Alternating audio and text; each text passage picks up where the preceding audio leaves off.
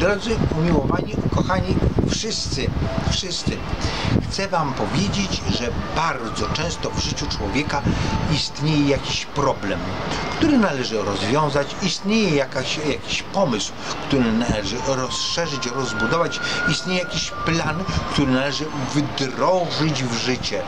I teraz my stajemy przed tym planem, przed tym problemem, przed tym zadaniem.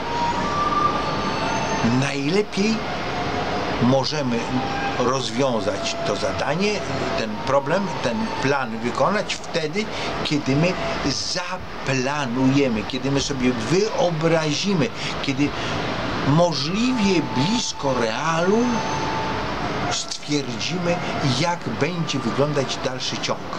Czyli jeżeli ja jestem w stanie przewidzieć, to będę milionerem. Jeżeli byłbym w stanie przewidzieć numery w totolotka, to to byłbym milionerem.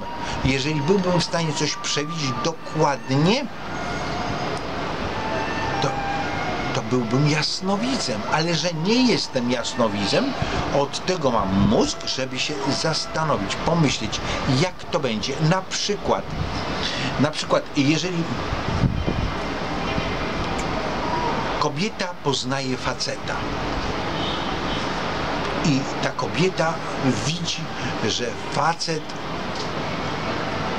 różni się trochę od innych, czyli że ma coś, coś ma, na przykład ma samochód, albo ma, ma, ma, ma, ma ten, ma wykształcenie, albo ma, e, ma, ma, ma szmal, albo ma albo ma poczucie humoru, albo ma aparycję, to jak on coś ma, to kobieta wchodzi w temat. Jak wejdzie w temat, to wtedy zapomina o czymś takim, żeby zaplanować, przewidzieć, jak to będzie dalej wyglądało. I wtedy kobieta mówi święte słowa, które są początkiem każdego nieszczęścia. Ona wtedy mówi, jakoś to będzie i w tym momencie jakość szlak trafia.